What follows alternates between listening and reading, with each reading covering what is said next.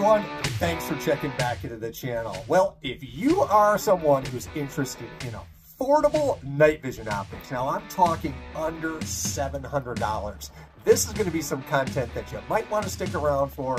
Hit that alert button to get alerted for the content as it comes out. Now, I'm going to be comparing four affordable night vision optics. I'm going to be starting off with this Sightmark Ring. Now I've had this optic in my hands for a while, I've got some time behind it, and I'm getting familiar with the features on this optic here.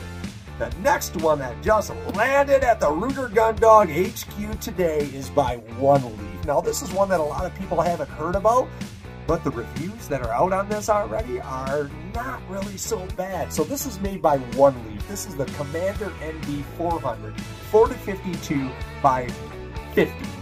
And we're going to be comparing this directly to the Sightmark Wraith, as well as both of the Arken Optics Zulus. It's the Zulus and the Zulus RF, which is the rangefinder model.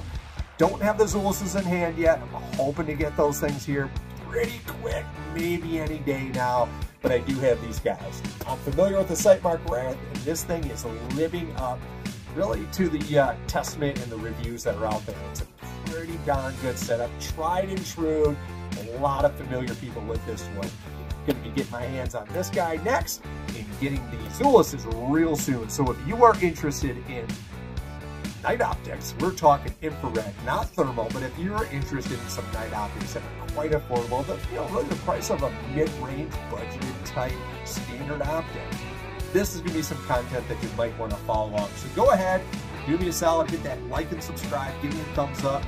Better yet, give me some comments. Do you have any experience with the Sightmark Red or the Zuluses that some people have already, or even this optic by one.